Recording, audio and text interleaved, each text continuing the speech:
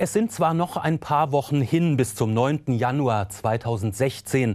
Für das 14. Hallenmasters in der Stadthalle Zwickau ist aber bereits jetzt alles vorbereitet.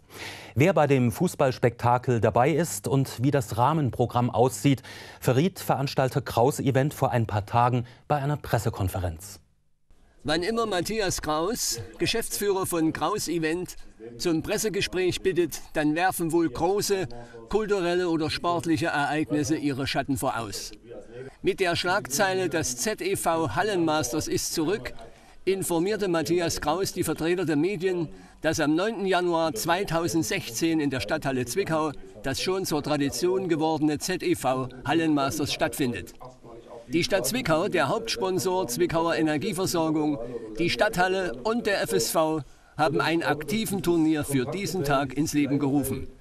Damit heißt es bereits zum 14. Mal, der Ball rollt unterm Hallendach. Mit dabei sind der Pokalverteidiger 1. FC Nürnberg, der 1. FC Lok Leipzig mit Sportchef Mario Basler.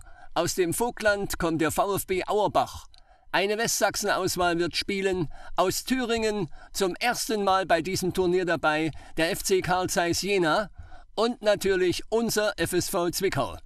Kraus Event hat ein exzellentes Rahmenprogramm zusammengestellt. Es gibt den ersten Firmencup der Stadt Zwickau mit dem Finale im Hauptturnier. Wir wollen Sie ein klein wenig einstimmen auf den 9. Januar 2016 mit Ausschnitten von vergangenen Turnieren. Mit Bildern, welche die ganze Bandbreite der Faszination Fußball ausmachen. Wir von Television Zwickau werden auch von diesem Turnier berichten. Also, wir sehen uns. Budenzauber in der Stadthalle am 9. Januar 2016. Bis dahin.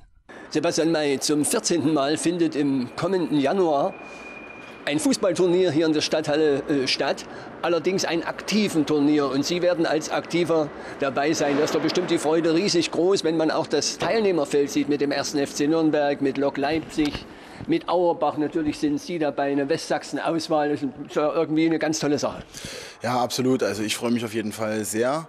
Ich hoffe natürlich, dass der Ziege mich da mit reinnimmt. Ich denke es aber schon, weil ich denke ich mal letztes Jahr auch ganz gut war. Ähm, ja, klar, es lockt hoffentlich auch viele Fans an von allen Lagern und ich denke natürlich auch sehr viele Zwickauer, weil es ist ja perfekt. Man fällt aus dem Wohnzimmer raus und ist quasi schon da.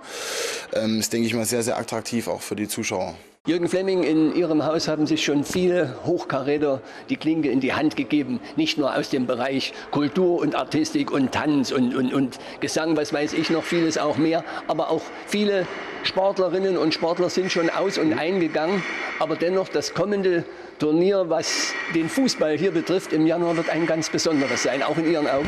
Ja, wir freuen uns, denn wir hatten ja in diesem Jahr kein aktiven Turnier. Wir hatten ein Ulturnier Anfang des Jahres äh, und im nächsten Jahr schließen wir eigentlich wieder an einer Tradition, die in den 2000er Jahren begann und dann über die Jahrtausendwende weitergegangen ist bis 2013 das aktiven Turnier, dann hat man ein neues Turnier und ab 2016 soll es wieder regelmäßig, so hoffe ich ganz einfach, einen aktiven Turnier geben. Natürlich mit dem Lokalmatador, dem FSV und äh, ich wünsche natürlich den FSV auch persönlich für das Turnier, ich sage mal alles, alles Gute.